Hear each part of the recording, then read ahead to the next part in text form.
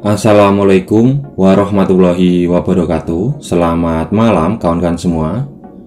Pada kesempatan kali ini Saya akan memberikan materi perihal Analisis uji two-way ANOVA Menggunakan program SPSS Nah sebelum saya melakukan praktek di program SPSS Alangkah baiknya kawan-kawan semua harus mengetahui tentang konsep dasar dalam uji two-way ANOVA Uji two-way ANOVA bertujuan untuk mengetahui ada atau tidaknya perbedaan kelompok yang dipengaruhi oleh dua variabel faktor.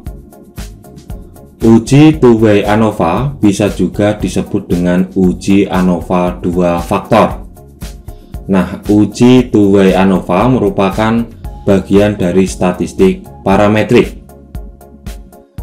Syarat dilakukannya uji two-way ANOVA yang pertama, sampel berasal dari kelompok independen. Yang kedua, variabel faktor bersifat non-metrik atau data kategori. Nah, yang ketiga, nilai residual standar berdistribusi secara normal. Yang keempat, varian data antar kelompok harus homogen. Yang kelima, variabel dependent berskala data kuantitatif yaitu data interval atau rasio. Dan yang terakhir jenis data yang digunakan yaitu data kategorik dengan data numerik. Nah selanjutnya di sini saya memiliki contoh kasus dalam analisis uji two-way ANOVA di mana seorang peneliti ingin mengetahui apakah terdapat perbedaan dalam penggunaan jam kerja per bulan berdasarkan jenis kelamin dan jenis pekerjaan pada masyarakat di Kota Pati, Jawa Tengah. Nah, dalam penelitian ini menggunakan 30 anggota sampel yang dipilih secara acak.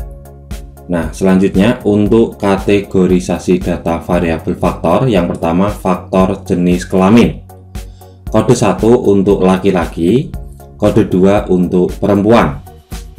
Lalu untuk faktor jenis pekerjaan, kode 1 untuk employer, kode 2 untuk self employer. Baik, selanjutnya. Nah, penelitian ini dilakukan dengan tujuan sebagai berikut.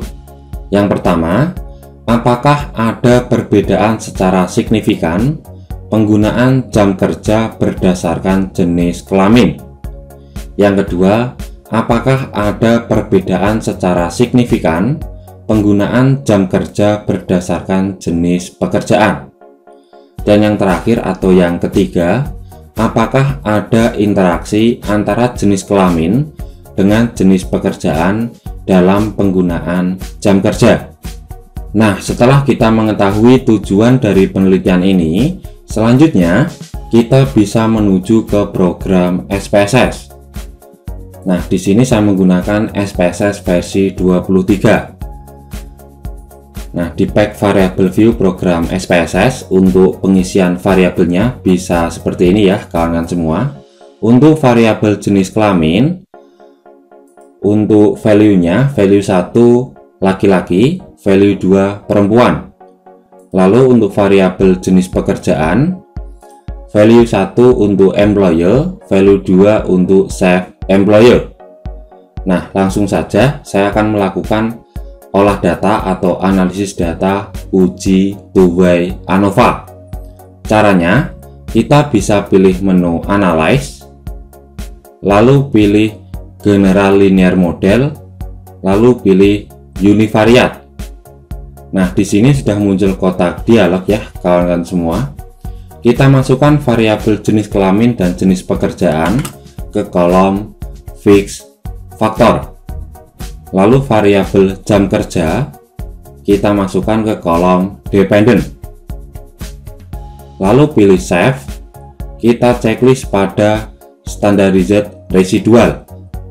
Nah, tujuannya untuk memunculkan variabel standardized residual. Lalu pilih continue, selanjutnya pilih OK. Nah, kita apikan dulu output ini. Nah, di sini sudah muncul variabel baru. Nah, variabel inilah yang akan kita uji apakah data berdistribusi secara normal atau tidak. Caranya, kita bisa pilih menu Analyze, lalu pilih Deskriptif Statistik, selanjutnya pilih Explore. Nah, di sini sudah muncul kotak dialog. Kita masukkan variabel standarized residual ke kolom dependent list.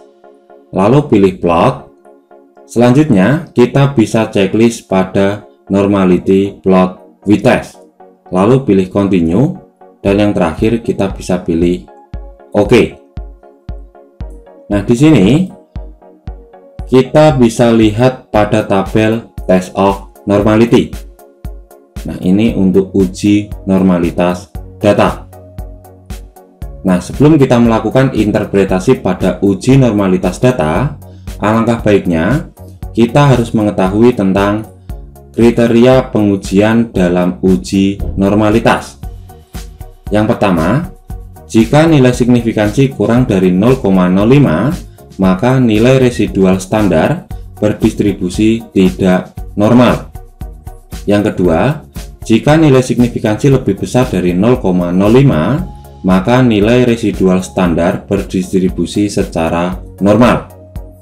Nah, di sini bisa dilihat pada tabel test of normality yang lebih tepatnya pada kolom Shapiro-Wilk diketahui nilai signifikansi sebesar 0,780. Nilai tersebut lebih besar dari 0,05. Maka bisa disimpulkan bahwa nilai residual standar berdistribusi secara normal. Yang artinya, asumsi normalitas data sudah terpenuhi. Nah, berhubung asumsi normalitas data terpenuhi, maka kita bisa melakukan uji two-way ANOVA. Dikarenakan uji two-way ANOVA tersebut merupakan bagian dari statistik parametrik, di mana asumsi normalitas data harus terpenuhi. Oke, langsung saja kita bisa melakukan uji two-way ANOVA. Caranya sama, kita bisa pilih menu Analyze, lalu pilih General Linear Model, pilih Univariate.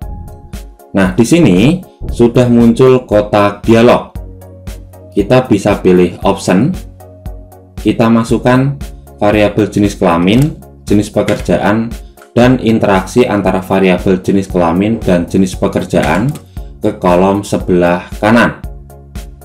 Lalu di bagian display kita checklist deskriptif statistik, lalu checklist pada homogeneity test.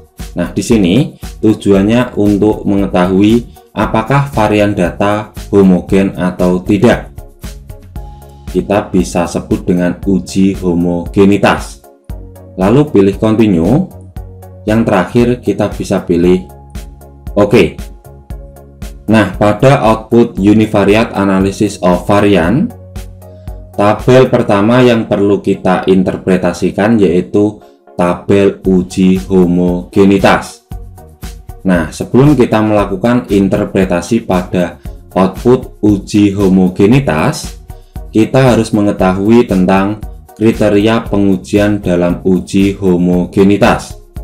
Yang pertama, jika nilai signifikansi kurang dari 0,05, maka varian data tidak homogen. Yang kedua, jika nilai signifikansi lebih besar dari 0,05, maka varian data homogen.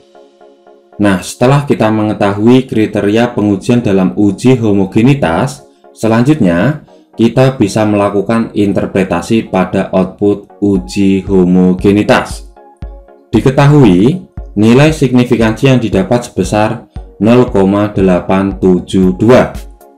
Nah, nilai tersebut lebih besar dari 0,05 maka bisa disimpulkan bahwa varian data sudah homogen nah selanjutnya output yang paling penting dalam uji two-way ANOVA yaitu pada tabel test of between subject effect nah sebelum kita melakukan interpretasi pada output ini alangkah baiknya kita harus mengetahui tentang kriteria pengujian dalam uji two-way ANOVA.